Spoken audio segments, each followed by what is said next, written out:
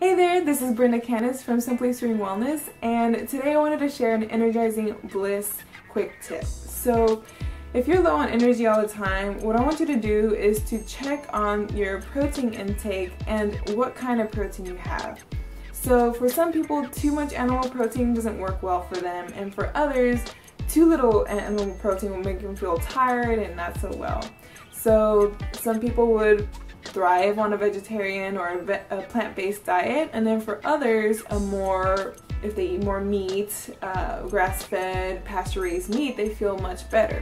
So experiment with how much animal protein and what kind of animal protein you have and do so with curiosity and respect to your body's individuality by listening to your signs. So listening to the response that your body has to that protein or how much of protein you have.